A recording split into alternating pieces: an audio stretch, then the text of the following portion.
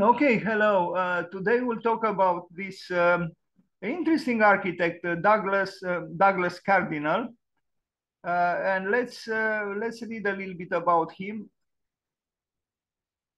Uh, Douglas Joseph Cardinal was born on March 7th, and today is March 7th, 2023. Is a Canadian architect based in Ottawa, Ontario.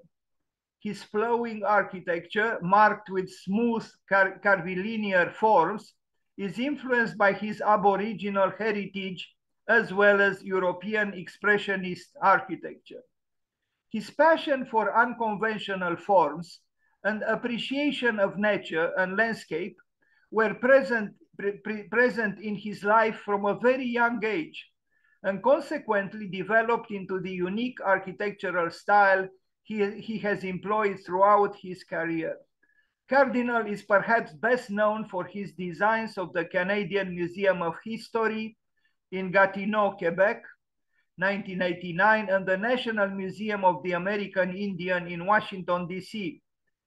He is considered one of Canada's most influential contemporary indigenous architects. Uh, I, I actually find problematic this uh, form of putting it because I think he's one of the one of the best architects in Canada, regardless as he's in, indigenous or not. But you know, uh, this kind of uh, rather discriminatory um, assessment uh, uh, can still be found in the media. Born in Calgary, Alberta, to parents Joseph and Frances Cardinal, Douglas Cardinal is the oldest of eight children. His father was a Siksika, Blackfoot, French and uh, Ojibwe heritage, while his mother was of German, French, and Mohawk Métis descent, so Native American Indian. His mother worked as a nurse and was well educated. Cardinal's parents met in 1926, and in the first half of the 20th century, women had very little status and rights. The patriarchal society did not recognize educated women like Frances Cardinal. However, his father's tribe's societal norms accepted a matrilineal culture where women are very respected and admired. Beautiful. These cultural ideas shaped Cardinal's upbringing and affected his worldview and relationship with his heritage. He has recalled that his mother told him at a young age, you are going to be an architect. Here, here, here he is.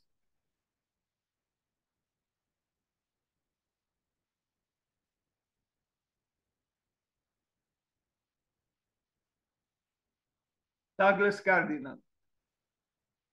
Born in 1934 and raised in Blackfoot territory, Douglas Cardinal's architectural studies took him to Austin, Texas, where he achieved his degree and was first exposed to the civil rights and indigenous rights movement. Douglas then became a forerunner of philosophies of sustainability, green buildings, and ecologically designed community planning.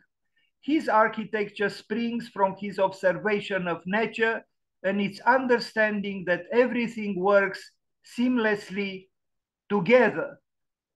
A very important word, together. Here he is, dressed uh, as a Native American Indian.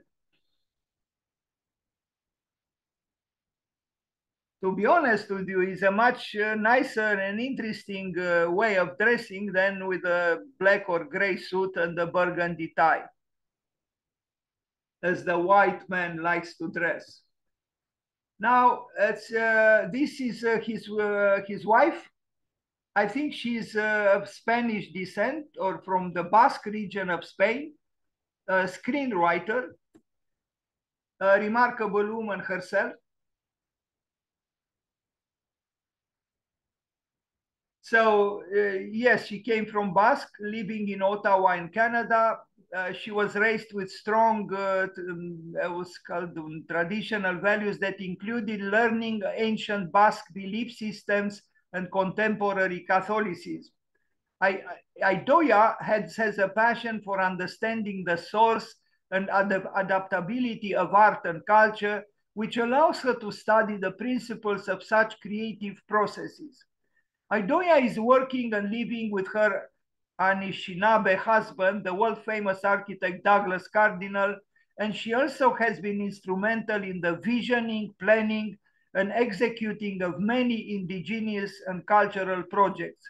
These include the Canadian Museum of History in Canada, the National Museum of the American Indian in Washington, DC, the Cree Cultural Institute and Village of Oujé-Bougoumou in Quebec, uh, un Win Health Center in Sioux Lookout, Vanabo Aboriginal Center, Health Center, the Oneida Casino Hotel, too bad he built such a thing himself, the Discovery Park in Tennessee, the National Museum of Ethnicity in Beijing, and the Victoria Island Cultural Center in Ottawa. She's also the owner of Douglas Cardinal Housing Corporation, which is an enterprise that delivers beautiful solid wood manufactured homes. Furthering the values of the Etxea, the house, Aidoya continues her studies regarding the principles of matriarchy and the re-emergence of indigenous feminine power values in the 21st century. I also advocate matriarchy and I hope it will happen better sooner than later if we want the, the maddening war in uh, uh, Ukraine to end. Some drawings of Douglas Cardinal.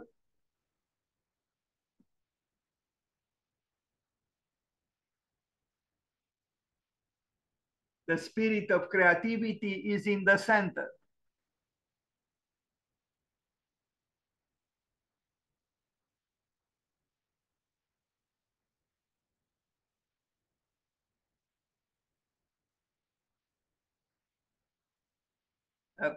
Project for a building.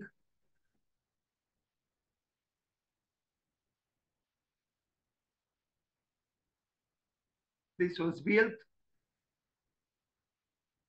We are going to talk more in detail about this work.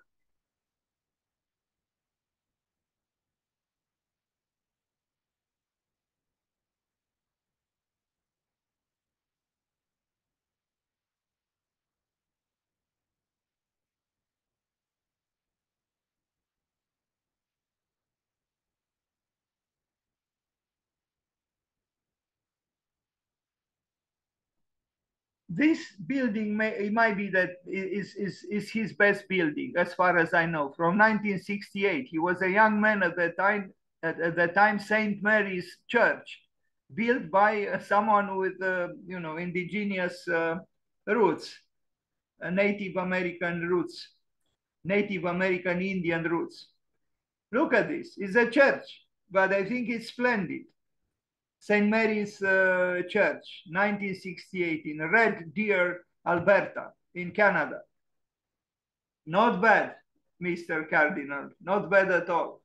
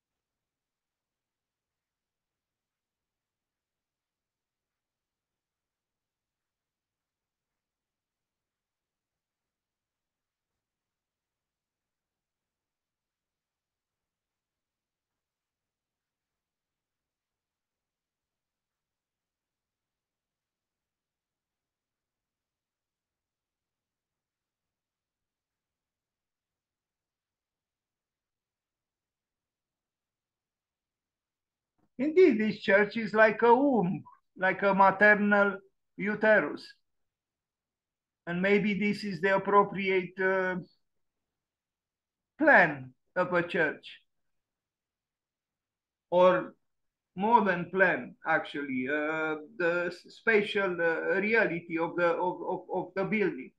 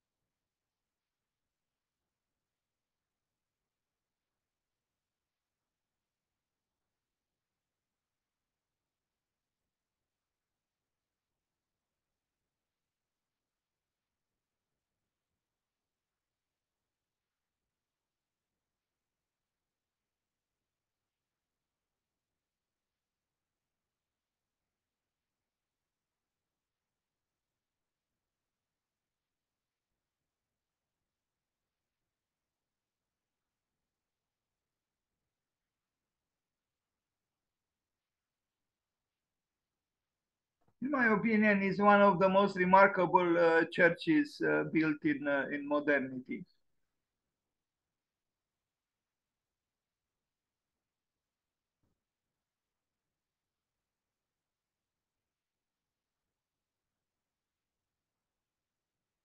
A school, 1975, the same place, Red Deer, Alberta.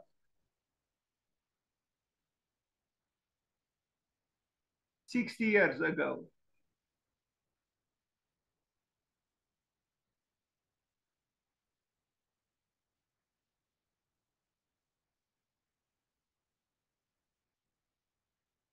Now you tell me if a, if a, if a student, a kid, a child studies in such a school, what kind of a person he might develop into, you know, it, it, it changes you, you know, the, this kind of architecture doesn't leave you indifferent as opposed to a flat uh, ceiling, white or gray. This is about togetherness, it's about people sharing a circular space, facing each other in a circle, you know, the, the hexagon of the tables.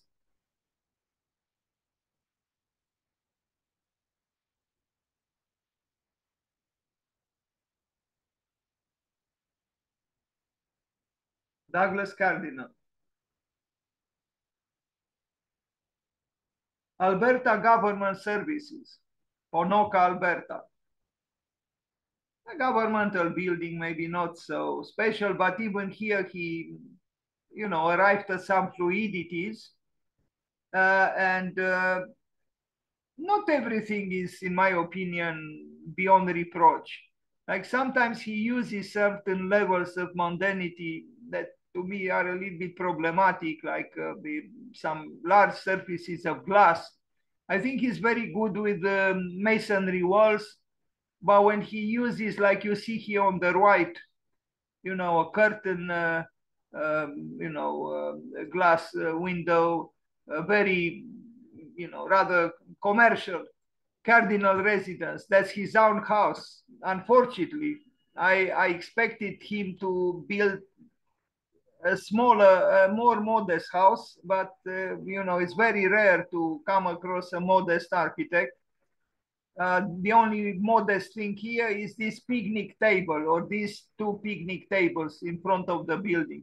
But this, um, you know, slanted um, glass uh, ample surface, in my opinion, is problematic. And uh, I see certain mannerisms here. I, I like the church, but when I see this, when I see his own house transformed into some kind of a, I mean, if you look at it, you'll say this is a, a you know, uh, not a very big, but a public building. It's not a public building, it's his own house. And I think it's excessive that, uh, well, you know, if it had, and I imagine is, uh, I mean, there is a justification. Maybe it is south and he's warming up the house with the sunlight, um, you know, but still somehow so much glass in a cold climate like uh, like uh, you know Canada has, um, I'm not sure it's so appropriate. Interesting, the flooring where you see he introduces the the you know the the irregularities of, of land into the into the inner space of the house. He even brings a you know a swimming pool there, which I think is rather eccentric and uh, I don't know.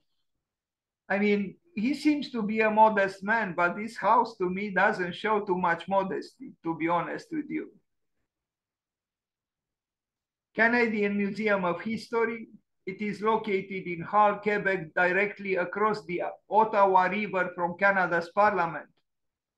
A large building, so it's what can, uh, the Museum of History.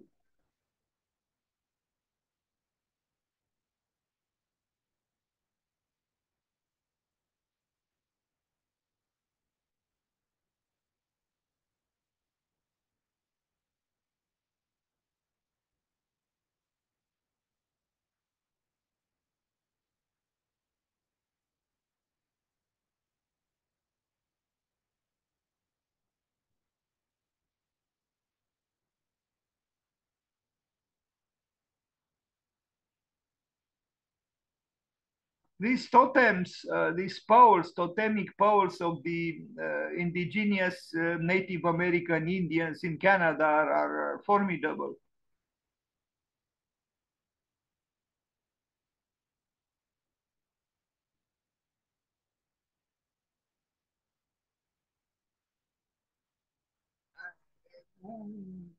I still think there is a side of his work which makes me a little bit uneasy. This uh, uh, some kind of a, I don't know, officialness, or I don't know how to call it, a certain mundanity. There is even a certain, you know, commercialism somehow, which disturbs me a little. But um, anyway, it's important, I think, to to know of him as well.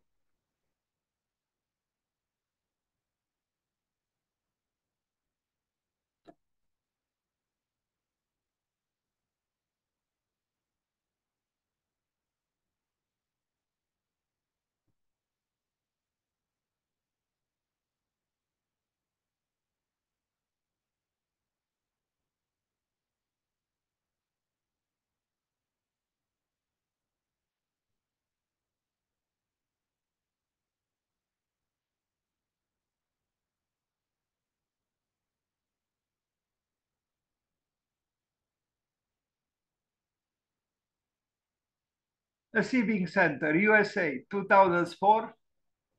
He was a consultant for this architecture firm, CH2 Architecture.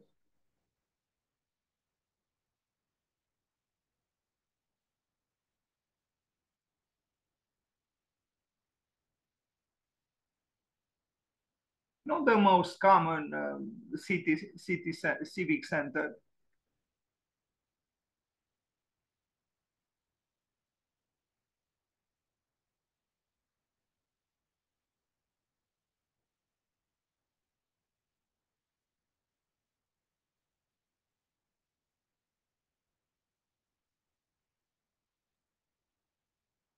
That was all. Uh, it ended rather abruptly, and I apologize, but that was um, the presentation on uh, on on Douglas uh, on Douglas uh, Cardinal.